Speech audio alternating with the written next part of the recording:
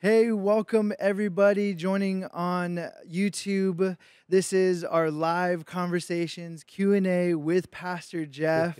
Uh, this is exciting. This is different for us Yeah. because it, one, it's live, and we're also in the worship center, so it's a bit different. Yeah. Um, but I'm really excited. Uh, we I'm excited too, unless my wife was watching. Then I might Yeah, be yeah. in big trouble. Then, then you're a little nervous. These questions the way they, I'm sure she's watching at home right now, thinking, "I'm watching you. Yes, I'm, yeah, yeah, I've exactly. got my eyes on you." She has her notepad. She's taking notes. yeah, she's taking notes.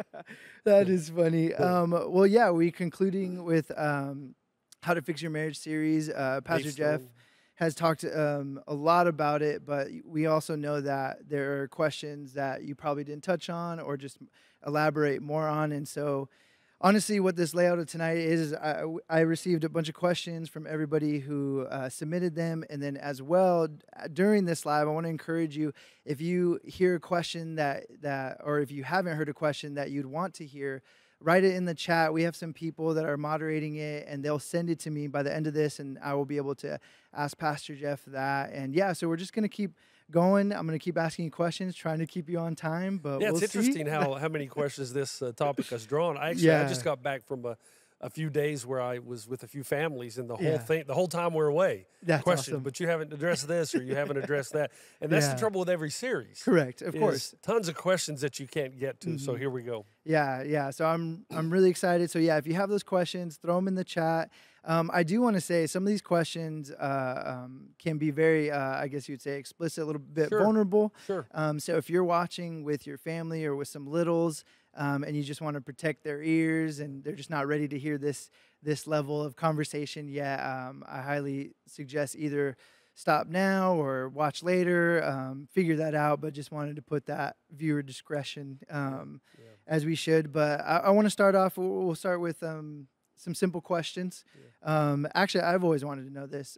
How old were you and Robin when you guys got married? Yeah, well, I had just uh, finished, completed my uh, junior year of college, so I Mm. would have been 22 years old. Okay, yeah, yeah. Robin, 23, Okay, when we yeah. were married. We met when we were in our, uh, I guess, you know, in our teens, 19. Yeah, When we yeah, yeah. met, we we dated three, almost four years before uh, we decided to marry. Yeah, no, that's awesome. And this actually helps with the with the first question that I really want to get to. Somebody said, "Can you meet the one at the wrong time because you are not fully healed from your past trauma? And is this uh, repairable with time and healing?" Uh, pretty much, can I work on myself? But if I'm working on myself and I meet the one, but I feel I don't feel ready, what what do I do? Like, what, what's the right steps to take? Yeah, you know, first of all, that assumes that there's only one. Mm, And uh, if you know, if I meet the one, the the one that uh, I'm supposed to marry, my soulmate, whoever, but I'm not ready yet, so I got to go work on myself. And by the time I do, and get myself healed of of, of past hurts, that uh, I've missed the boat. It doesn't really work like that. Now, now, there are Mhm. times I, I do believe that there are times when God decides I'm going to put these two together. mhm. And I believe that more often than not, it's for ministry purposes. Huh. You know, I believe that uh, God calls a man like Billy Graham. Yeah. You know, somebody asked Billy Graham once, you know, why you? Why did God call you? And Billy said, I have no idea. It's the first question I'm going to ask him. but I do. But I also think that uh, there are there are many um, relationships that can work uh, in marriage. You're Mhm. going to meet uh, a few people along the way Mm. that would would be a, a sufficient or good partner for you. Yeah. And that's why I think that it's important to have those accountability partners around you Yeah. where they can ask the right questions to get you to think more objectively than subjectively. Yeah. Yeah. And so, yeah, you know, you you may not be in a good place uh, to to marry because you're still working on some past wounds. yeah. Uh, you need to be in a good place where where you are ready to be married before you worry about jumping in with somebody because that Mm. that's the one that's the one so I've got to rush up now I got to hurry up and get healed so I can be ready for marriage it doesn't work like that Right. you right, just you do you know you let God do his work on you and you'll know when you're ready Yeah. and when you're ready then you know I, I believe that as you pray God can send you the Mhm. one to you for Yeah. that season where you Mhm. are right here right now Yeah, yeah, that makes me think of just flipping the whole perception of the one. Like, no, no, God has to. I always hear it. I, we might have touched on this before, but I've always seen videos or seen so many people that are like, oh, I can't wait until God taps me on the shoulder and says, Yeah. there she is, or Yeah. there he is. Um, and then with that perception, we think, oh, I have to be ready. So then, if that person does happen to, to show up, then I'm too, I'm too, uh, I guess you could say insecure Yeah. because you're like, well, I'm not ready, and, and now I have to pass up on this. Well, it's interesting, you know, you, you don't want to get too deeply theological on this, but the fact of the matter is, God has complete foreknowledge of every event in the future. So He's going to know when you're ready. Right, yeah, So yeah. the one wouldn't come until He knows you're ready. So, you know, Yeah. you can go round and round with that. Correct, The best thing to do is, in our understanding of time and space, Yeah. just get yourself ready and, and then pray. Yeah. When pray that God would send you the person that. Uh, that would be good for you, you good Mm-hmm. for them, that would make a good match. Yeah, definitely. And with that, when you do find that person, or when that, when that actually does happen, um, how do you? This is the next question. It says when you, when you are dating, but you're not yet in the in the full covenant. So how does the man learn to lead and take care of his girlfriend so he can prepare himself to be a godly husband? Yeah, well, when you're in the dating relationship, you don't have that responsibility yet. Mm, Uh, that's you, the you're, you're dating. You're you're you're not her spiritual leader. yeah. However, uh, if I were a young lady, I would be looking for habits in the Mm. young man, and if I were a young man, I would be looking for habits in the young lady. Habits like a devotional life, a prayer life. Yeah. how they handle difficult situations, how they handle their temper, how they handle moments of temptation. All of those are good signs of spiritual maturity. And nobody's perfect in this. I hope I haven't uh, communicated that, oh, if you've got a boyfriend or a girlfriend that, unless they're absolutely super spiritual and perfect, run away from them. Yeah, No, yeah, yeah. That's not what I mean at all. But you should see the, the trajectory should be moving toward God, not away. Mm-hmm. so if they have no interest in godly things, you'll know He's not going to be able to lead you spiritually, and she's not going to be able to to to spiritually encourage you in your pursuits as well. There's mutual submissions. There's Yeah, a sense yeah, of yeah. there's a sense of mutual leading and encouraging each other Yeah. in your pursuit of Christ. Right. Yeah. Totally. Um, and even within that, when when you do find that, and you you do see those characteristics and those self disciplines that that you see, how do you know? Okay, pretty much saying like this question would be like, how would somebody, all those things, great, wonderful. So it's like, okay, then can we get married next week? Um, it's like, oh, we've only met each other, or we've only been dating for a month. Can can I get married next month?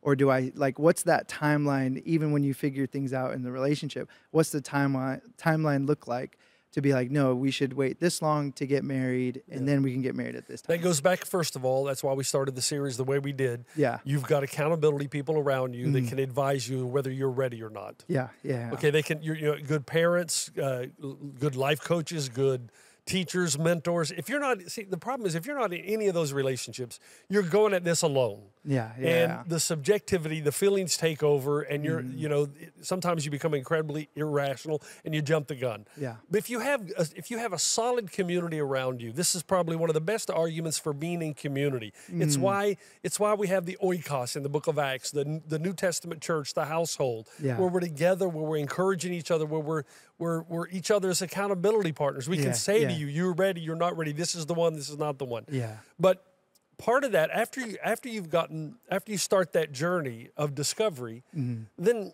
th- there will come a time in both of your lives where you come together and you say, "Okay, we're ready to do this." Now, here's the next question: When you enter a covenant, you have to ask the question.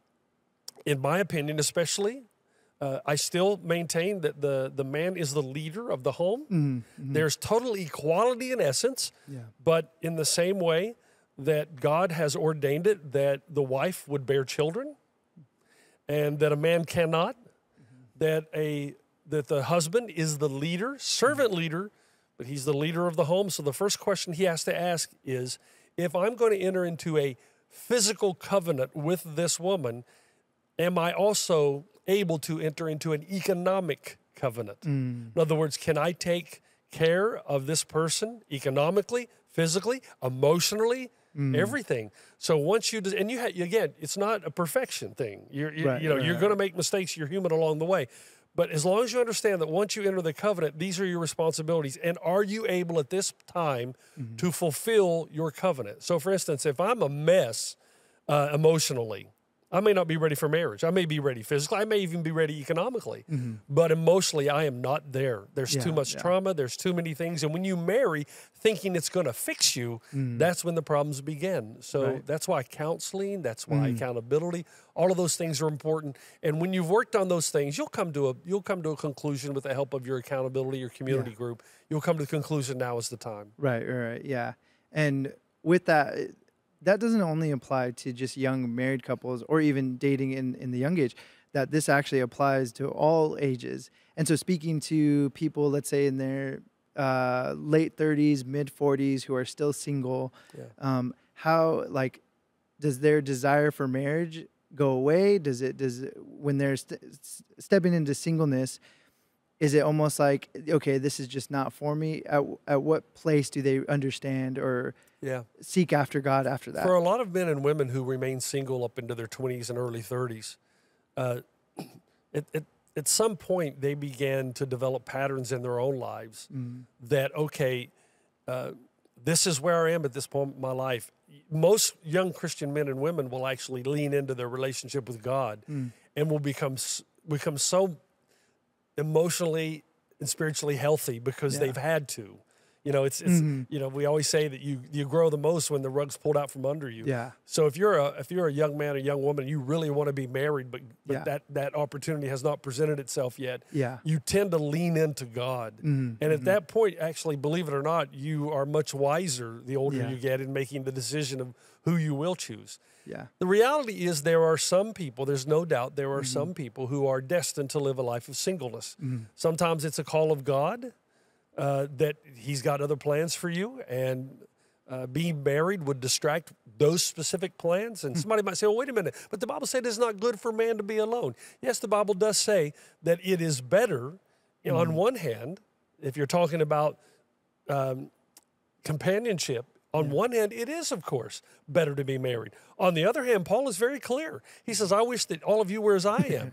and on the other hand, spiritually speaking, and accomplishing much for the Lord, especially if he's calling you to do dramatic things in the world, then in some ways, marriage and children will what?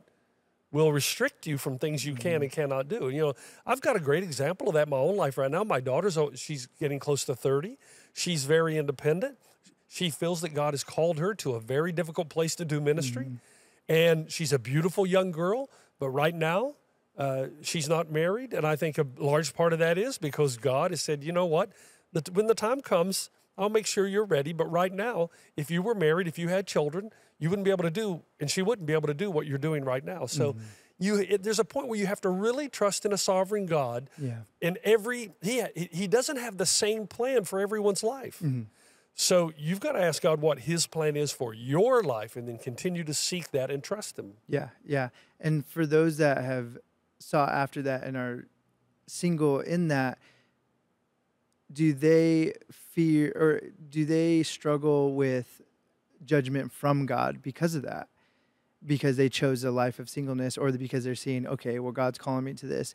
This is one of the questions Yeah. that somebody had was that I think 30, 40 years ago, yeah, it's a different world now. I think when mm-hmm. someone chooses to be single or when someone is single, I, I don't think the judgment is there anymore. Why aren't you married? Why don't you have a boyfriend? Well, because I've got, a, I'm in a different phase of my life. I Yeah. think it's different now than it was yeah, 20, 30 years ago. Is it completely gone? Of course not. Sometimes when you look at someone uh, that's in their early 30s and they're not married, you're thinking, okay, what's going on? You know? Right, And the right, first thing that people jump to, even in the Christian circles, is, well, are you, are you, are you lesbian? Are you gay? That's the first, unfortunately, that's the first judgment call Hmm. That happens, which is totally unfair. Yeah. The second thing is, well, maybe you're too hard to live with, or maybe you've got uh, habits in your life. like there's something wrong with you here. so, yeah, Unfortunately, that, that, it'd be crazy to think that still doesn't happen, but that's why it's important that you lean in your relationship to God. Mm-hmm. And when you're leaning in your relationship to God, I'm telling you, the more you do that, you won't care about what other people think anyway. It doesn't really matter what they think. Right. It only matters what God and his what He thinks about you and what His plan for your life is. correct. And there's no judgment from him on that decision, no, of course not. like at all. Yeah. If I if I were a young man, however, let's Mm-hmm. be let's get to the nitty gritty here. If I'm a young man and I really desperately want to be married, Yeah, that desire is there, Mhm. and I just haven't come across the young lady that uh, is interested in me in that way. Mm-hmm. That to say that that's not tough is an under that is very difficult. Yeah. If you want to be married and you're incredibly lonely and Mm-hmm. you wish you could meet the one, all I, you know, I'm not God. All I can tell you to do is continue to pray that God Mm-hmm. would work on you Yeah. and would give would bless you with someone who would come along and love you. However, as we've said before, be careful of making marriage the ultimate savior. Right. It's not. Mm-hmm. And uh, the only one you can't live without is Christ. Now, Yeah. that's, and I know some are going to say, well, yes, yeah, well, uh, well, good for you. You- You can say that because you're married and got two kids, and now you got grandkids. You don't know what it's like to be single and lonely and really want to be married. And you're right, I don't.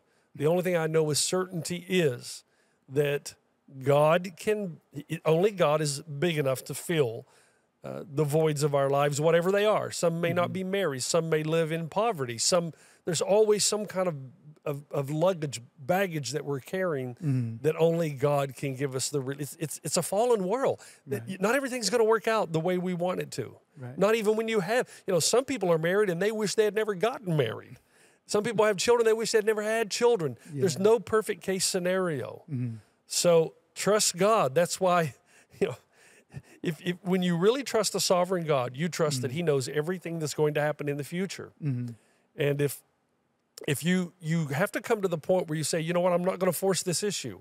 Mm-hmm. God sees me, He loves me, He cares for me, He's got a plan for my life. And mm-hmm. right now, marriage is not it, and Yeah. it takes trust. Yeah, that's a. I'm sure a lot of us who are hearing that who aren't married. That's that's a tough one to wrestle with. Yeah. But but ultimately, Pastor Jeff, it's what you're saying is is that if you cultivate a life trusting God and being in His presence, you will understand that He has so much more for you than just the physical marriage or just the physical side of the desire of wanting. Yeah, that, which is right? hard to do in this culture because we're sex crazed. I mean, Right, the- yeah. the whole culture right now is that if you if you're not in some kind of relationship, then you have no value. Mm-hmm. If you're not having sex, you have no value.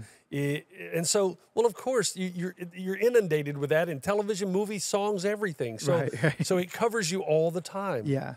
But it's not the the, the cure all. Marriage, Mm-hmm. relationship, sex. it is not the cure all.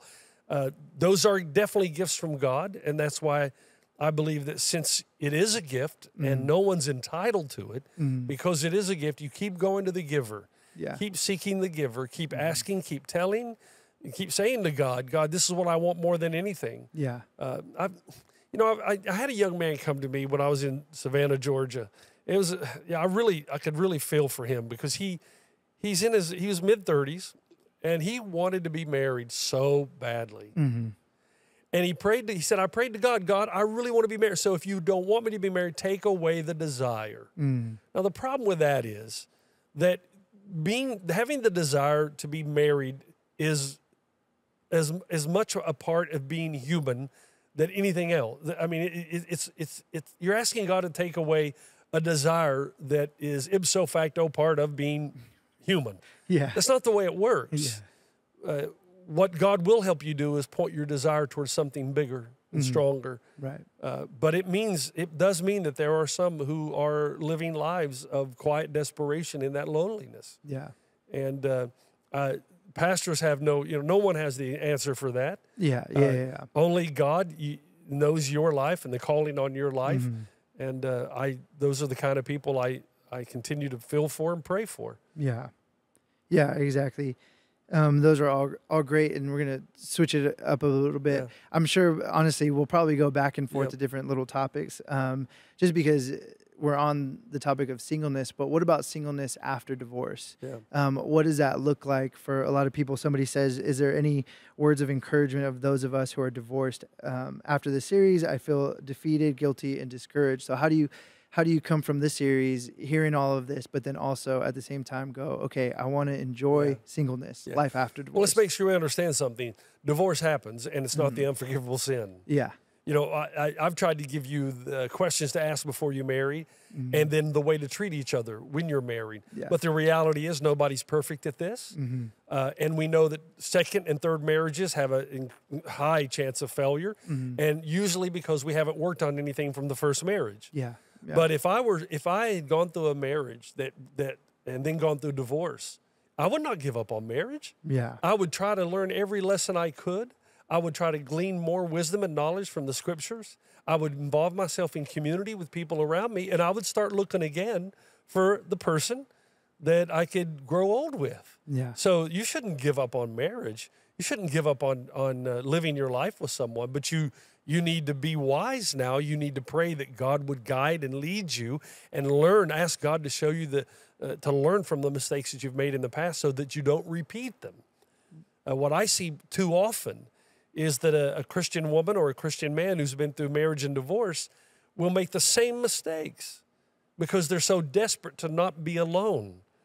Uh, and they'll even lie to themselves and say, "Well, well, he's a believer. I met him at church." Like I said, no, there's no spiritual habits in his life, or she's a, she's you know she's committed to Jesus, and you start. Li- that's why unless you have the objectivity of, of community, unless you live in community with other Christ followers, man, you're not going to listen to them. This Dru, this happens all the time. Mm-hmm. It's happened in my ministry here, where there will be someone that will be in our group, and they'll be single, and they'll say all the right things. And we're talking about older single, we're talking about 45, Yeah. 50 years old. Mm-hmm. And then somewhere along the line, you know, they really want to meet somebody. They meet somebody. The mm-hmm. person's not a Christian. And suddenly they disappear. They disappear from church and they disappear from the group Yeah. because they know the group nor the church will approve. Not that they would ostracise them or put them out. Right. It's just that they know their friends would tell them this is not the way to go. But Mm-hmm. they want they fear loneliness more than they fear God. Mm. And they are terrified of going through life alone that they start making another bad decision happens and then they go ahead and they continue the relationship. They end up getting married and 5 years later they end up right back to where they were in the beginning. And it's a sad it's a sad state of affairs. Right, so right, don't be depressed. Don't don't beat yourself up. God is a Mm-hmm. gracious, merciful God. So the first time around you blew it. Okay, marriage bond has been broken. Now Yeah. ask God to give you the wisdom as you seek to be married Yeah. and to live life with somebody that shares uh, this common interest and passion. Yeah, yeah. There was another question too, kind of on that same uh, vein of that. It's like, oh, we heard you just say, you know, your second, your third marriage is usually, or statistically, it, they end up uh, um, ending. And so, for somebody who's listening to this that is in their second marriage, um, I just would like clarify even more. We're you're not saying that it is destined to No, end. not at no, all. not not one bit. No, the reason the stats are so bad is because you don't learn the lessons. But there are some people, Correct. obviously, who do. yeah, yeah. I mean. I I've uh, I've got at least three friends who are in second marriages that are doing extremely well. Mm-hmm. right, right, right. I also have friends that have been through three marriages that, you know, so it just it just depends on where you are. yeah, correct. And e- listen, Dru, even if you've been through three marriages, Mhm, mhm, yeah. you know, learn Yeah, yeah. a lot. yeah. You know, sometimes you you go into the first marriage, you're not even a believer, Mm. and things fall apart. yeah, And then you you go into a second marriage, and somewhere in the second marriage you start to find Jesus, and then you go to the third marriage. Now, oh, see, so all the thing, all the mistakes you've made, now they're, they're coming to reality, and now you're actually a better candidate right, right, right. because you're much wiser. Now, Yeah, that, yeah. I don't, but that doesn't mean you should go out and get divorced four or five times so you'll be a better candidate. correct. Yes, Don't exactly. be depressed at all. I mean, Yeah. my goodness, that's the that's the beauty of the grace and the love and the mercy of God. I'm just trying to encourage us to get it right the first time, so we don't have to go through the pain and heartbreak. Yeah, yeah, Uh, the friends that I have that have been through divorce, it is painful, and they go through the wounds for the rest of their lives, Mm-hmm. and uh, it's something you deal with. yeah. yeah. No, definitely. Um, this next uh, question, kind of talking about before all of that, the engagement side of things, and so um, this person asked. Says, what do you recommend the husband or the fiance to do when he has a either a, a manipulative side of a parent um, who tries to control the family unit? Like, what what is the husband's responsibility in that, or what is even the fiance's resp- responsibility in that? I think it's interesting that the language used from the get go in marriage in Genesis is leave and cleave. Yeah, yeah, you know, when I first read, oh, leave what? You know, leave and cleave. Well, the point is that when two people become one in the marriage, that is your family now. Now you still have extended family. Yeah. But that your first responsibility now is no longer to we're told to honor your mother and father. Yeah. When you're married, you leave that and you cleave to your spouse. So you're you're you may honor them in a sense of respecting, but the final word now is not with your mom and dad; it's with your husband and Yeah. wife. Mhm. If and I've I've said numerous times that you will have parents who who don't understand that. Good godly parents encourage both the husband and the wife in their love for each other and to put each other first above and beyond everything else. Yeah. And when a mother or a father uh, uh, belittles or manipulates or tries to coerce the family into doing what they want them to do, that's when you withdraw. Yeah. You, you're patient and you give a lot of grace. Mm-hmm. But a, a husband who will not protect his wife from the mother in law Mm. Is not do, fulfilling his role as a godly man. Hmm. And, a, and a wife who expects her husband to do everything that her father or mother requires him to do is not respecting the headship, the leadship of the husband. So it's leave and cleave to one another and to protect each other and the family. Mm-hmm. Yeah, that's really good. And to follow along with that, this question kind of goes into that as how do you move forward in restoring a broken relationship with in-laws slash parents who have been difficult or unwilling to find resolution in the beginning of the marriage? Yeah. I think it's important that as Christians, we always seek forgiveness and reconciliation mm. with all people. Mm-hmm. Uh, but I, until you're able to reconcile mm-hmm. with the parents, you don't subject your spouse or your children to that kind of atmosphere. Mm-hmm. So, in other words, you don't keep coming over, you don't keep uh, putting yourself in a situation where the, the wounds reopen. Yeah, So let's say let's say you've got let's say you've got parents who who from the get go did not agree with the bro- did, did not think you married the right person, Mm-hmm, and they they've not yet accepted that. And when you're around each other, you can feel that tension and stress. mm. Well, that's when the husband, without the wife, goes to his family and says, "Okay, we got to talk." Yeah. Mom, Dad, I love you. I love my wife first and foremost. I need you to love her, to accept her, and to treat you treat her as your own. And if you can't do that, then we can't be around you. Yeah. It's that important. Mm-hmm. Your allegiance is to your wife. Your allegiance is to your husband, not to your Right. mother or father. Yeah. That's Well, that seems tough though. it is tough. it is tough, but there, there's no other way. There's just Right. no other way. Right, right, right. There has to be some line, right, that you have to draw, some some boundary that you have to put in place that shows that you are willing to continue to grow in this marriage. Um, and sometimes the, the other side is they just won't, or or they finally will eventually. I mean, obviously that's where prayer comes in, right? Because I've heard of so many couples who've had that start um, in their marriage, early in their marriage, and then years years later, there's a, there's restoration and Yeah. reconciliation with. And with we need to say that the best case scenario Mm. always is for good relationship with in-laws, Yeah. with grandma, grandpa, Mm, the extended family, the best case scenario. So if I were in a position, I would do everything within my power for restoration. mhm. But if the time came where it was not possible, even Paul said, where it's possible, be at peace with everyone. Mhm. I would try that as far and as long as I could until it had diminishing returns for my spouse or my children. Yeah, yeah, that's huge. And then um, this next question, kind of, I think, goes a little bit deeper, especially with the person. It says, "Can childhood trauma affect your relationships and marriage?" Um, and it says, "As a person who grew up with bad examples of marriage, uh, cheating, lying, abuse, how do I stop expecting those things to happen in my marriage, even though my husband has never once done any of those things to me?" Yeah. Uh, I would say that the number one impact on the on the way you will relate to your husband or your wife and your children is your parents. Mm, mm, And so counseling is a must yeah. to deal honestly with uh, the things that are happening in your life. As a matter of fact, especially when it comes, believe it or not, especially when it comes to the children. So, hmm so you're going to relate to your spouse usually the opposite way Hmm. in the beginning. Mm, So in the beginning, you're going to realize all the things your parents did you don't like. So you're going to try hard in the beginning to be opposite. Mm. Now, as you relax, you'll find yourself. It happens to all of us. You're becoming more and more like your parents. yeah. So that's why there are times for counseling. That's why we talked about date night, talk, conversation. But the the the the the the greater uh, danger, in my view, after counseling for 40 years, has to do with your kids. Mm, You're going to tend to relate to your children 180 degrees in the opposite direction of the way your parents related to you if you didn't like it. Hmm. And what that means is you go too far the other way. Hmm. So let's say let's say I have a, a domineering father. Yeah. Typically that means I mean if he if he was overboard, not a, not hmm, just a strong father. Yeah. If a strong father is good, but if I had a domineering, just hurtful, uh, just you know the law is laid down and there's no grace whatsoever. What I tend to do when I become a parent is set no boundaries, no boundaries at all. Well, both both are wrong.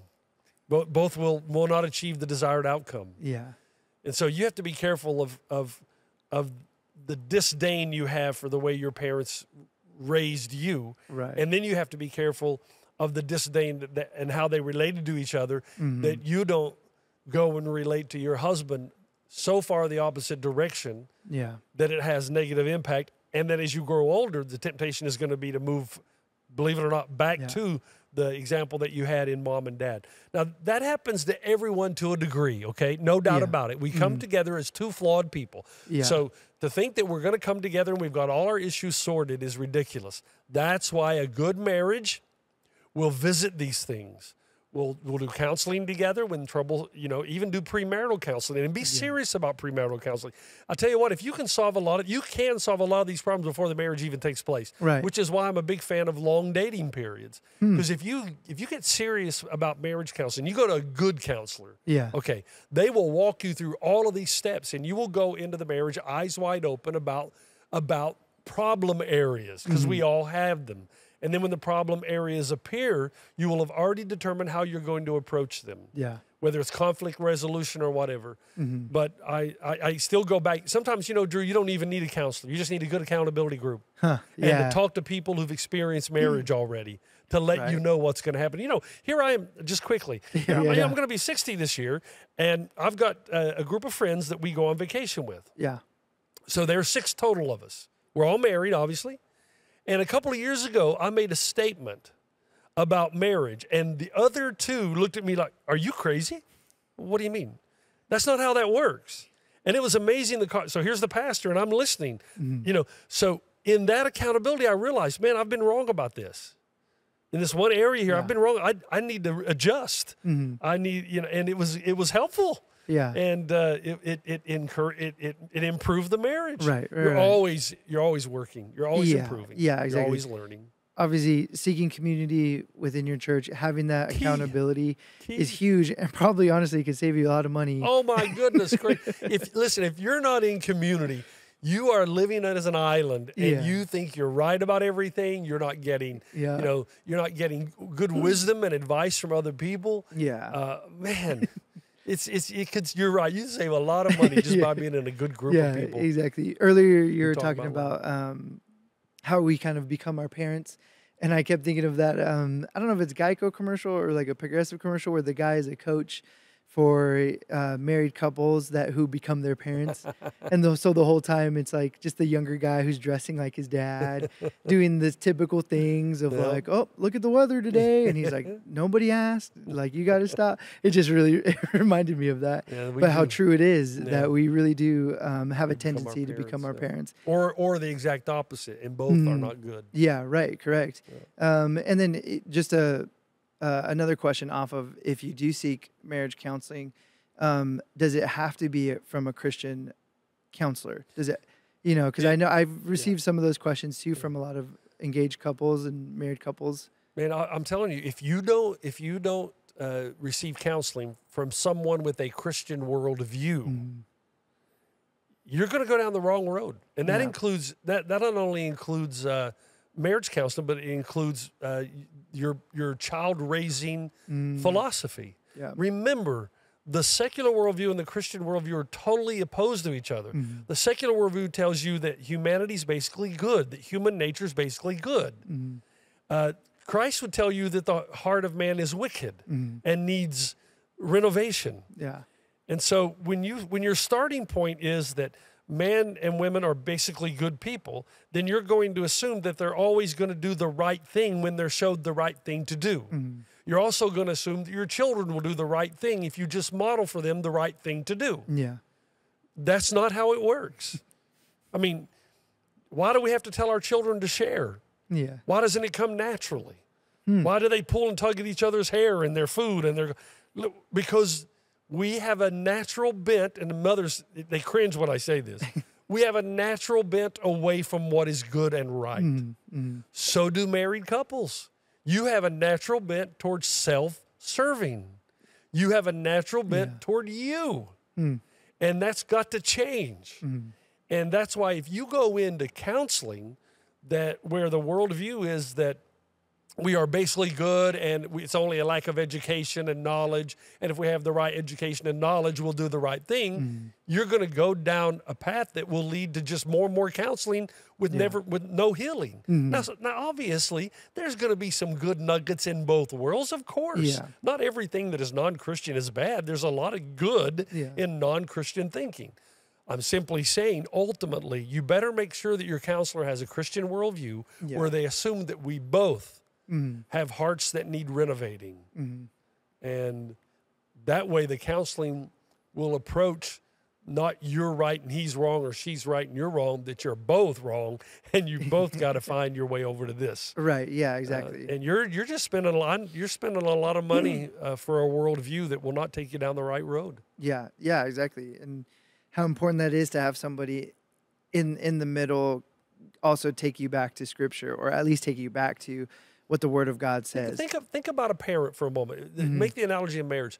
Think about a parent who assumes that their kid will always do the right thing. Mm-hmm. Who assumes that the problem is if I just explain. Let's use my let's use my granddaughter. Yeah. If I explain to little Ada, Ada, this is the right thing to do. If I think she's always going to do it, I'm living in a dream world. right. Okay. Mm-hmm. I'm assuming that yes, I'm going to teach you, but there's going to be discipline associated with teaching you. I'm not. ca- I'm not talking about whacking her over the head now. Yeah, yeah. I'm simply saying here is cause and effect. Mm. When you do these things, there's a reward. When you when you disobey these things, this is what happens. These are the Mm-hmm. Ramifications. Well, that's because I have a worldview that says that you have a bent toward to do not Mm. the right thing, but the wrong thing. Yes, you'll do some things right, but when you come to a matter of temptation, you're not always going to do the right thing. Yeah. So how do I motivate you to continue to do what is good and what is right? Yeah. Yeah. and so much of so much of child raising right now the books that our next generation is reading Yeah. the advice that they're getting off google or youtube or whatever is not from a christian worldview it's from a totally secular humanistic worldview that assumes every child is perfectly fine and good and you're in for a rude awakening Right. Exactly. Um, want to get to the next question sorry. that no, that was that Getting was into really the next good. series already yeah, exactly. um, uh, but this honestly kind of goes into it because this person says, uh, My husband won't lead our family as God has designed. He doesn't read the Bible, spends most of his time on his phone with social media, or plays video games. How can the purpose of marriage, the deep correct character of change, they say, uh, be fulfilled if he won't submit to God? well first of all uh, if both are christ followers Mhm. and he's not fulfilling his role as the spiritual leader of the home, then the- only recourse she really has is prayer. Mhm.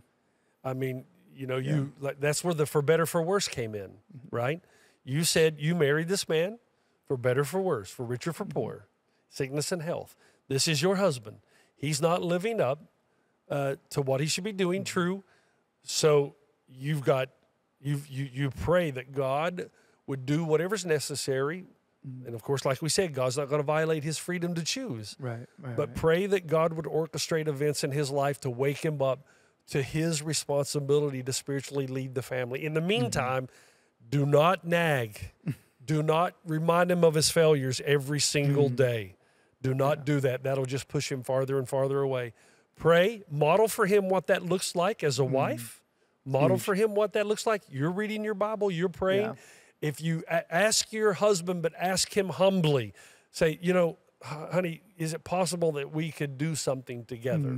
Mhm. You know, it, it, could we pray together? Could we read scripture together? Yeah. It could be, is he a loner? Mm. Some men are spiritual, but they're spiritual loners. Hmm. Their time with God is is they're not good in groups. Mhm. It, they're better in isolation. Yeah. So is what do you tell? Just write out what you need from him, but you've Mm. got to you've got to do it in such a way because if you don't communicate with him, then you can't hold him responsible. Mm-hmm. Do it in such a way as to appeal, not not put him in a position to where you're just you're just dropping the hammer on him. So Right, right, so right. write write a love note to him, honey. I love you. You're my husband. You'll Yeah. always be my Yeah. husband. I will never leave you. Yeah. We are together. You know, can I can I ask you to consider these things Mm. for me? And that's where the date night comes in Right. to where you where you ask those questions. What are you not getting from me that you need? Now, if here's a man who is totally uh, shut you out, okay, so there's no time. I mean, you're living, you're in the same house, but you're. Some men will do this. They just check out completely. Yeah. yeah. They go to work. They come home. They don't talk to you. They don't talk to the kids. Mm-hmm. They don't. They're just there. They they sleep. They go to work the next day. They go hang out with their friends. Mm-hmm. This is a person who's totally disconnected from you. Yeah. And so this is where you've got to be very honest and say, "Hey, this is not a marriage. We're two people living in the same house, but there's no relationship here. We we, we don't. We're not together physically. We're not together intimately. We're not together spiritually. What's going on here?" Mm-hmm. And this is where you have to say, "Look, we we've got to go to counseling because this is not a marriage." Mm-hmm. Now, when you have a partner refusing to do that, Yeah. that's a that that to me is the most difficult marriage to be in. Yeah. And you say, well, what do I do, Pastor Jeff? Well, I think sometimes you separate. Now, what this is what we haven't talked about. Mm-hmm. Uh, sometimes the man or the wife has to be. You got to wake up. Yeah. And if you've gone to your husband or you've gone to your wife and you've done this numerous times, and now you're into years where there's this is no marriage, Mm-hmm. then sometimes you you say you you separate. You don't divorce. You simply separate. You go back home, live with the parents. You go, but you okay. Some people are going to say, well, "Hold on a minute. Economically, I can't do that." Then, if you economically you can't do that, then you have to stick it out. Mm. You've you've got to now, uh, now unless there's, let's say there's abuse. Yeah. Is he beating on you? Is he hitting on you? You've got to get out. Mm-hmm. you got to go talk to your pastor. You got to go talk Yeah. to your group. You got to go talk to somebody.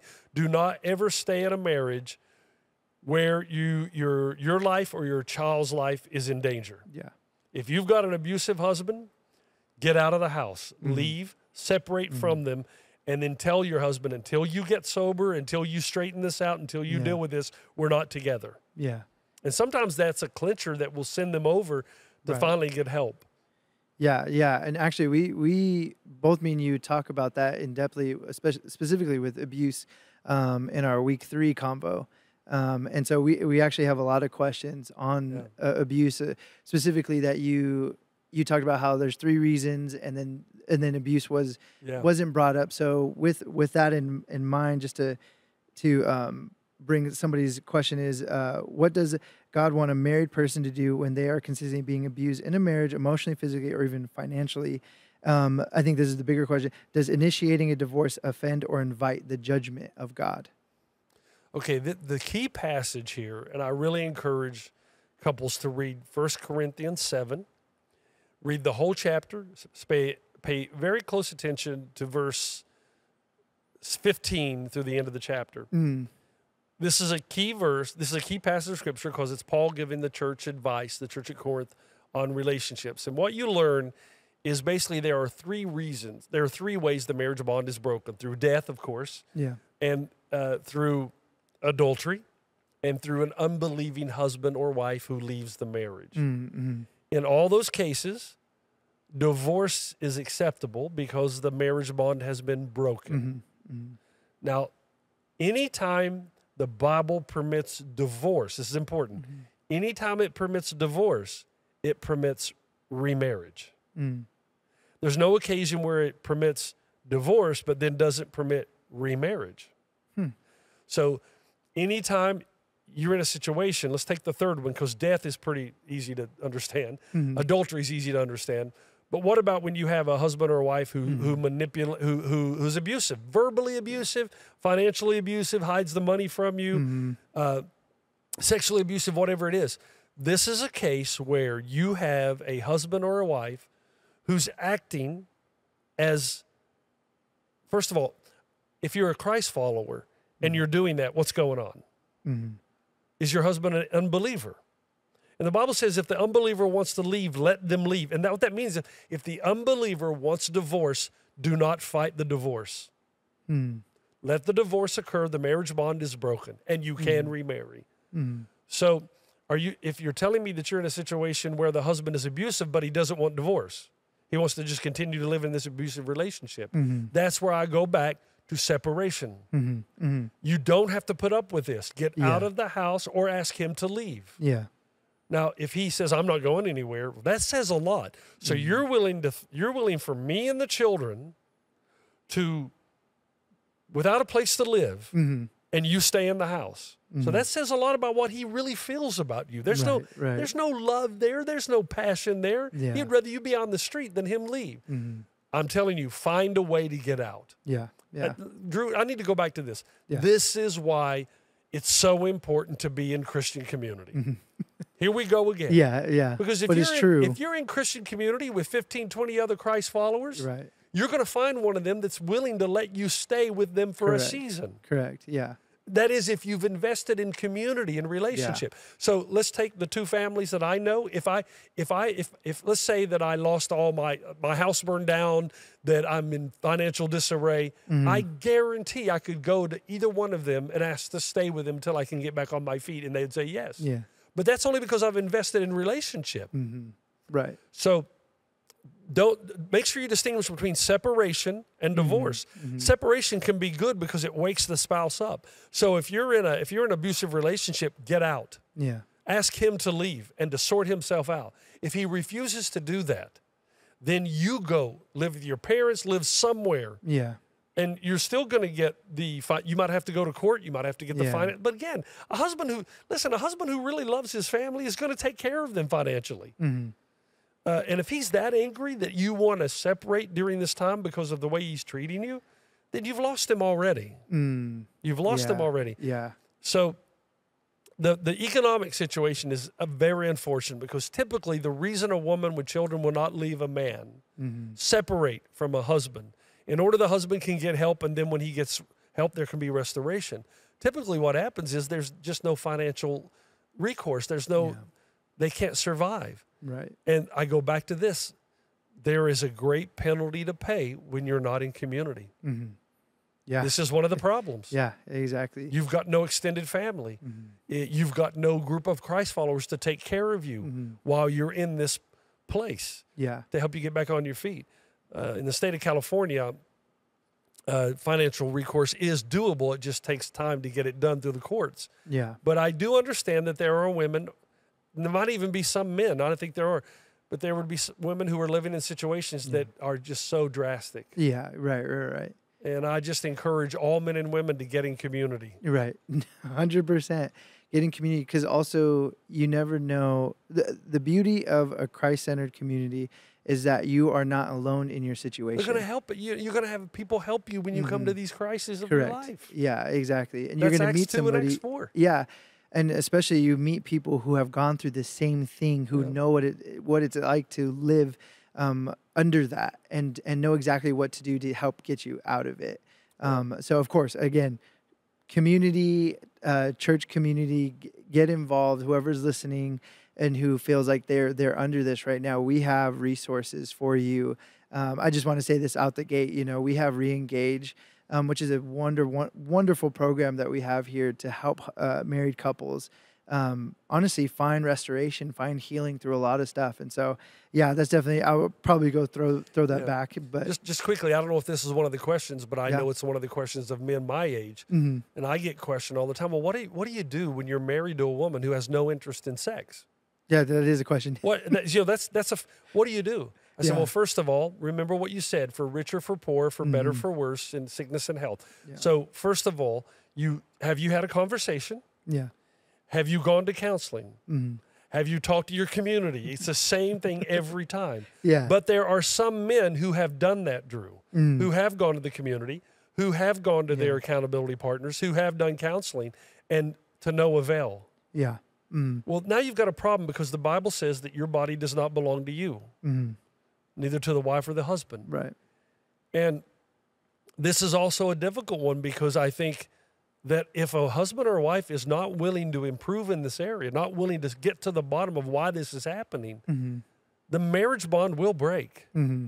It will. It, it, it's just it's a matter of time. Yeah, And uh, for I, we have a I have a friend who whose wife just decided one day they'd been married, had kids, uh, actually were part of our church for many years, that just decided one day that she doesn't want to be with a man anymore. Mm. And what's you know he it ripped him to shreds Right. just like that. What's he to do? Mm-hmm. You know what's his recourse? And again, his his his his response should be to love Mm-hmm. and to seek restoration yeah. to seek counseling. But if you get to a point where there's no there's there's no going back, there's no effort in the marriage, Mhm. that is the ultimate question of 1 Corinthians 7. Yeah. Can the marriage is the marriage bond broken when the unbeliever leaves and what does it mean to be an unbeliever? Mm-hmm. Mm-hmm. Now we know in the context of the apostle Paul, it's when somebody decides, you know what, you're following Jesus, I don't want to follow in Jesus. I'm I'm divorcing you. The Bible says let them go. Mm-hmm. But the, the, the reason it gets so convoluted sometimes is what about when the when the a spouse breaks the marriage bond Mm-hmm. by withholding sex? Mm-hmm. There's no intimacy. By checking out mentally, socially, all those things that you committed to do in the covenant. What happens when the husband or the wife checks out of all that and just decides, I'm going to live in the same house, but there's going to be no relationship here? Yeah. what that's why I say go back to accountability, go back to counseling, yeah. go back, try everything you can for reconciliation. But let's be let's be honest. Sometimes it is not possible, Mm-hmm. Yeah.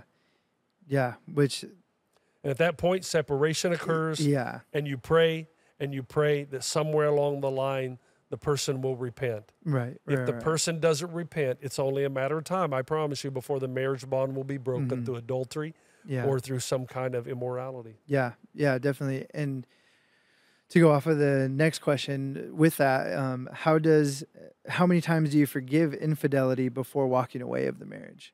Like what what is that line? And uh, Once. yeah, yeah, yeah. I mean, you don't have to, but if if if a husband or a wife cheats, hmm that's sexual immorality, and it's, the Mhm. Bible is very clear. The marriage you broke the marriage bond. Yeah, yeah. Uh, that wound is so deep. Mhm. However, some men and women find it within themselves to forgive. right. If right. you're able to do that, good. yeah, If you're not able to do that, that doesn't mean that you're any less or worse the person. yeah, And there's going to be a lot of people disagree with me, and there's going to be a lot of pastors Right. agree. right, right. Uh, I just think based on scripture, I think there's a reason. There, there was a reason. The, the marriage bed is sacred. When you violate that, Mm, the pain, the suffering, the lack of trust, the difficulty of building trust yeah, uh, is, is, is probably one of the most difficult things to do in a relationship. right, right, yeah, So yeah, you if, if there's infidelity, and that's why I say when I when I hear men talk to me about pornography not being sexual immorality, Mhm. yes, it is.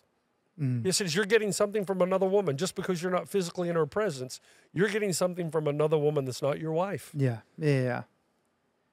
Right. And it, you know, I think most women would say to their husbands, "Hey, you need help, and you better stop this, and you better get help." Right. But if there's a if there's an unrepentant spirit, hmm no, this is uh, I'm not hurting anybody. This, you know, Yeah, yeah, yeah. No, definitely. Um, I want to get. I want to go back to that, but I want to go back to a, a earlier something you said earlier. Um, that you said a separation was appropriate in cases of abuse. Um, could you clarify whether divorce is also appropriate in those cases if there is no resolution? Uh, divorce again. Let me if I, if I stay if I let the Bible de- determine Yeah. this, and I need to. Mm-hmm. Divorce is for sexual immorality, Mm-hmm. for death. Well, that's not divorce. That's remarriage. Yeah, so yeah. divorce is for sexual immorality or if the husband, the unbelieving husband leaves. yeah, yeah. Separation, however, Mm-hmm. I think separation should happen in cases of abuse. Mm-hmm. And it's been my experience after the separation happens, sexual immorality follows quickly. Mm-hmm. Right.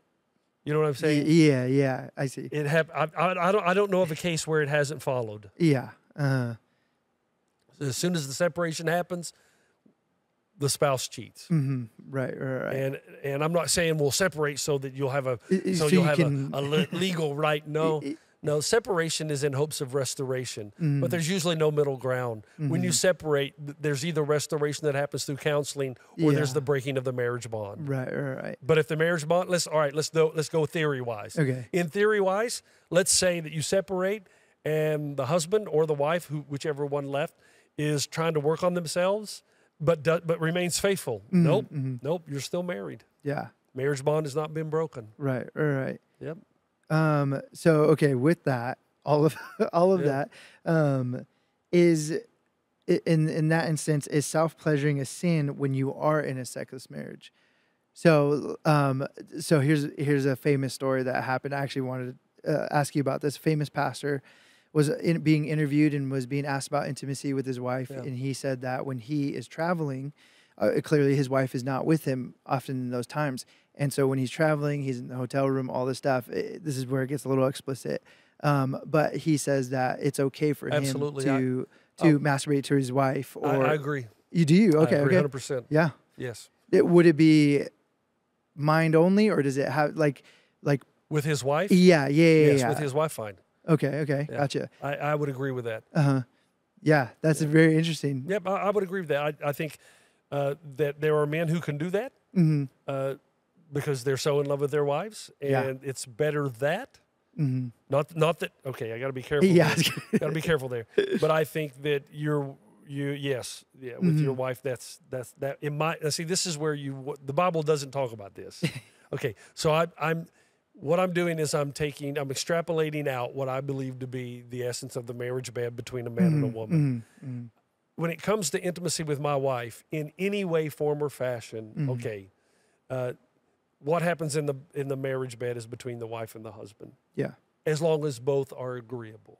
mm, So yes, if both are agreeable yeah that this is something that can happen uh, when the husband is traveling, absolutely, yeah yeah absolutely. But obviously, it gets tough when people who either either have a past of infidelity or Yeah. even have a past of just sexual sin, Yeah. or even people who have a, a past with uh, like pornography addiction.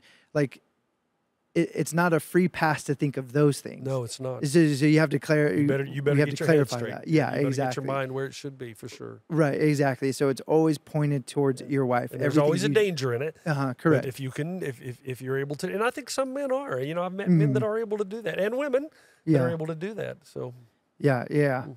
That's good. Yeah, yeah. That's Yeah.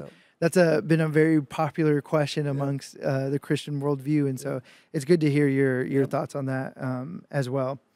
Um, okay, so I see we don't have much time, so I'm gonna just sure. rattle off some some questions. Um, this question we just got in says, "Wife and I have been struggling lately. I believe we love each other and want it to work, but infidelity is part of our past, and neither know how to get past it." Yeah. Suggestions. Well, first of all, let's go back Yeah. to what I said before. Mhm. That's it's so difficult. It's Mhm. not easy for anyone. However, if you've got two people who want to get past Yeah. it, you can. Yeah. But you're going to have to really do the hard work of good Christian counseling worldview. Can I just go ahead since we're here? Yeah. Let me just we, we have in we are blessed in Southern California because in Pasadena we have what is called the Prader Group. Hmm. Uh, P R A D E R, the Prader Mhm. Group. This is a group of counselors that come out of uh, the old Fuller Seminary. Okay. Yeah. Yeah. okay. These are fantastic counselors. Mm. And if you, uh, if you are in a marriage where you've suffered infidelity, but you both want to make it work, spend the eighty-five dollars, man, and go over there and see them. Mm. They are so good, Dru. Yeah. Matter of yeah. fact, I'm speaking from experience. Mhm. I've been to them, Yeah. and uh, they are superb. Yeah. Yeah. That's and awesome. If you get good Christian worldview counselors like this, Mhm. man, they are worth giving up coffee for three months or whatever you have to give up to get your wife and your husband there because you can. You know, Yeah. y- that is possible. It just takes hard work. right. Right. Right. Hard work, dedication, and good for love. them. Yeah. Good for two husbands. Good for a husband and wife for saying, you know what, we we've not been wise in this, but we want to make this work. Good for you, and you Yes. can. You can get past it, but I'm not going to lie to you. It's going to take some work and Right. commitment. Right. Yeah. It's gonna be a, a tough road, but a, a road worth going through Yeah, if they can, if they're able to. Because to it is true, and this is. I hope this is the same. statement everybody remembers. It is always true that your best life is with your present spouse. Mm. Your best life, if you can work through whatever that whatever it is, Yeah. your best life is with your present spouse, not the one that is to come. Yeah. Yeah. It just if you can do the work now, Yeah. oh man, because then you solve so many issues Yeah. uh, without trying to do it again Right, and again and right. again. Yeah. Right. Yeah. Um, okay. Next couple of questions. Uh, somebody says, What advice would you give a couple that is starting a family with children from their previous relationships? I'm assuming that when you went into this relationship, you all you agreed already that you're bringing these children in. Mm-hmm. Let me tell you something, Dru. That that again is a very difficult thing Mm-hmm. because the children have a different mother or father, Mm-hmm. and there's an allegiance to that mother or father. Yeah. You are going to have an incredibly difficult time. You're going to have to go to counseling. you're going to have to do a lot of it. Yeah. Yeah. It's just that's there's no easy answer to that. Mhm. Right. Right. Uh, Right. you're you're going to have to do the hard work. You're going to have to understand that it's a different playing field for you, Mhm. Right. Yeah. Exactly. and you're going to face those issues. In, as a matter of fact, I, I can I just be honest. Yeah. I, I when a young couple comes to me and they want to get married, Mm-hmm. and let's say the husband's bringing three kids in to this marriage, Yeah. I usually advise them not to. No, no, Yeah. Don't, don't, no. I would advise you not to do that. Well. But that's how hard it. That's how difficult it is. Yeah. Right. And then right, when they say, "But no, no, we we're in love. We we Right. know we're okay, okay," because then you'll see how serious they are. Mhm. And if they go ahead and they say, "Yeah, but no, we really want," I'd say I, I wouldn't advise it. Yeah. I'd do that two or three times. But if they are insistent, I'd say, "Okay, then here's the prerequisites before you get married," Yeah. Mm-hmm. so that they go in with eyes wide open. Mm-hmm. Unfortunately.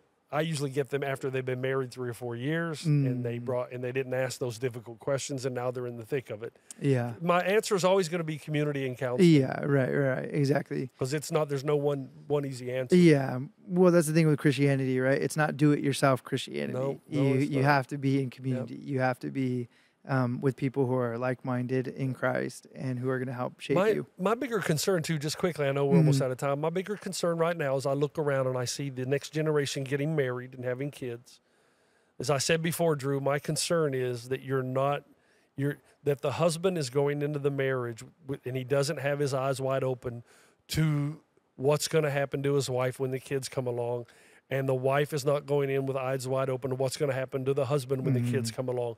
You cannot live two separate lives. You cannot.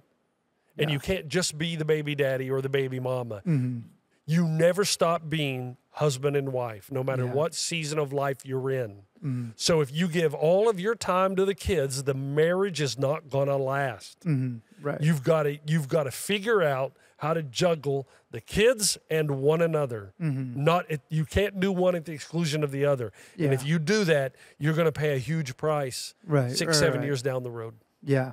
Oh, totally. Definitely. Um, well, yeah, I feel like you keep answering questions that I haven't even uh, asked, Yeah, which is, I mean, obviously God and the Spirit moving, um, which is awesome. But with that, uh, how do I make my spouse a priority slash be intentional when our children are in the toddler stage and require so much? exactly. much? That's exactly right. Right. All right, goes back to date night. Mhm. That, to me, it's almost a cure-all. Yeah. Because if the husband knows every Thursday night he gets you, Yeah. and he not only gets you for coffee, he gets intimacy with you. That's Mm-hmm. your time. He's, you know what he starts to do? He starts to say, you know what? She needs my help. Mm-hmm. But I know on Thursday nights we're going to spend time together. Yeah. But what happens is that if you don't set aside that time, he wonders he's wondering when that time is ever going to come again. And Mm-hmm. that's when frustration happens, that's when temptation happens, that's when trouble happens. Yeah. Just just set aside, agree, come together and agree when you're going to we're going to be together. I would and you know, if, if it costs you a little because they're going to say, "Well, what about childcare?" Yeah, well, have somebody invest in your marriage. hmm Yeah. I'm telling you, Yeah, if you don't do it, it's it's not good. Yeah, yeah. Oh, definitely. That's really good stuff. Um, last few, um, and then we'll we'll conclude. Um, how do I remain positive and encouraged when my significant other has a life changing illness? How do I do what? How do how do I encourage? How how do I stay positive and and and be encouraged or be an encourager when my significant other i has a life changing illness? Yeah. Women are much better at this because they're nurturing the men, obviously. Right, right. but in, in cases like this, this is uh, this is something that can only be accomplished through prayer and the strength Mhm. of the Spirit. Yeah. Uh, you can do it. Mhm. It can be done. And in fact, you are never more like Christ than when you're ministering to a husband or a wife who's in the middle of illness. Yeah. Because you're sacrificial, you're compassionate, and you're trying to be encouraging at the same time. Yeah. However, you got to make sure you're getting your encouragement at the same time or the well will run dry. Mhm. So make sure that you're in prayer and make sure that you have a group of people who are coming around you and doing for you what you're doing for your spouse. Yeah. And if you do that, you'll make it through a difficult season. yeah. Yeah. Yeah. Don't try to do it on your own. Yeah. Right. Right. Right. Um, yeah, that's important. Um, How many times have we said community in this? a lot. My goodness. Oh, very much so. A lot. I think the theme of having a healthy marriage is to Be make sure you're in good and healthy community. Yeah. Um, definitely. I think. Okay, so uh, two more questions. We'll do two more, and then we'll, we'll Okay. conclude. So the first one is uh, thoughts on birth control, navigating to when to have children. Um, I think that's a, a big question for a lot of uh, young married couples.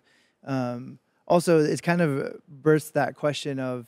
Um, are, are we in control of when God tells us to have a kid, or are we are we trying to take control of that? Yeah. So just like thoughts on on on that realm. yeah, I think that I think it'd be wise for the husband and wife together to pray, God, we really desire to have children, Yeah.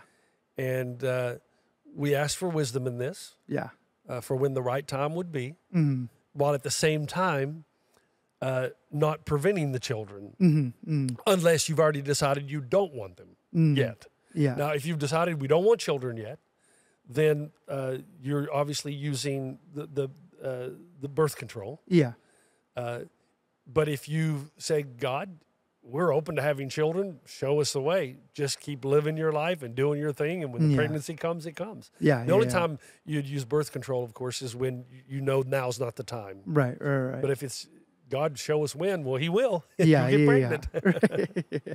um, and then on the other side of that, what what do you what do you do if it's just been too trying so long to have children in your marriage? Obviously, that causes a lot of division within the marriage relationship. And so, how do you navigate life if it's if it's taking too long, or Mm. if the, that result that you want is just not there yet? yeah, that was Robin and me. hmm 'Cause we were married at 22. We kept trying, trying, trying. We didn't have our first kid till 30. Yeah. But you know, we kind of we were good with it because we Mhm, kept mhm. saying, God, hey, if you want us to have a baby, we're going to have a baby. If you Yeah. don't, we won't. Yeah. And so the tension kind of went out. hmm It- yeah. uh, and if I when I noticed Robin a little frustrated, I would say, honey, remember, yeah. this is God's child. It's not ours anyway. The child's already in heaven. When Mm-hmm. God decides that the child is ready, we'll have a child. And, and Yeah. Mm-hmm. it just took all the pressure off. So just really, you, you know, it's, it's the same thing I would say to someone who is single, Yeah. looking to get married. Be patient. Right. Right. Yeah. You know, and, Mm-hmm. and what if what if we never have a child? Okay. Yeah. Okay. Maybe maybe that's God's will for your life in this season of your life. Yeah. And then some women will feel so strongly that they want a child Mm-hmm. that they'll try over, which is fine too. But you know, this is God laying a passion, a desire in your heart to go a different route. Yeah. that's fine too. Yeah. Yeah. So I think you, I think you're, you don't be silly. Yeah. You know, if there are other options available, do you want a child? Ask God to give you blessings in that option. Yeah, yeah, right. Yeah. Yeah, no, those are good. Um, there's obviously more questions that we can continue to continue on and um, ask all of those, but I think that was great, great, uh, great answers, Pastor Jeff. Obviously, there's um, a lot of people who are listening, obviously with heavy hearts within this uh, uh, realm of marriage, and um, I just want to take probably this this short amount of time, just if we could say a, a quick or long prayer. Yeah. yeah, Pastor Jeff, if you can lead that, just for Let me and let me end with let me Yeah, I'll- let me have the prayer, but let me say first of all, you know, to those of you who have you've listened to this series, think, man, where was this 30 years ago? I've made every mistake in the book. Well, welcome to humanity. This is humanity. Uh, man, if we could get everything right the first time, what, what would be the use of living, right? Did we be in heaven? It'd be perfection. Don't beat yourself up too bad. Here you are now. God is a God of grace and mercy. My goodness. If you think, man, I really blew this in the past, well, confess your sins. Confess to God, God, I didn't do the right thing. I, I didn't treat my wife the way I should have. I didn't treat my husband.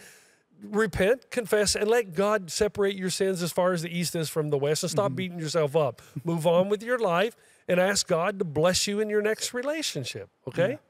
Uh, if you're in a relationship now that you know is going nowhere and your life is a living hell, pray for God to give you wisdom in the next decision that you make. But whatever it is, make sure you run it by community, get good advice from good Christian counseling with a good Christian worldview, and then put those practices uh, form those disciplines in your life. Seek God, practice what you learn, and I, I promise you that God will do something very unique and special in your life. For those of you who are single and very frustrated, you're, you're, you're afraid, you're doubting that you're ever going to get married, be patient. Let, let God be the determining factor here. Always pray that God would show you and give you the direction that He's laid out for your life, and also pray that He would give you the courage to walk in that path. And trust Him. Trust Him. So many people get married later on in life, and then they look back and they think, oh, I got it now. I wasn't really ready. I'm ready now. But trust God in whatever that is. And if you're dating right now, ask those questions. Be smart. It's the rest of your life. Make sure that you're asking the good questions in community. All right, let me pray for us. Father, uh, life itself is a journey, and it's it's filled with uh, struggles, with obstacles, with challenges. But we know we also have the power of the Holy Spirit in us who, who guides us, who gives us wisdom when we ask for it, according to James 1. And you have provided a community of believers for us that would minister to us, that would advise us, that would encourage us, that would meet the needs, just as they met each other's needs in Acts chapter 2 and Acts chapter 4. So, Father, I I pray that for those who are in difficult marriages, that you would guide and direct their paths, that they would have received some answers. For some, it may be necessary to separate for a time in hopes that restoration can happen in the long run. For others, it may mean coming together as husband and wife and going to counseling and making some decisions and determining that the end goal is the restoration of their relationship. And I pray that you'd remind them that direction, not intention, determines destination. Give them the direction that leads to the place uh, of a healthy and uh, loving marriage uh, that would build strong families. Father, there's a myriad of cases that we haven't gotten to, lots of questions we weren't able to answer. So I pray as each person comes to you that you would give them direction and guidance.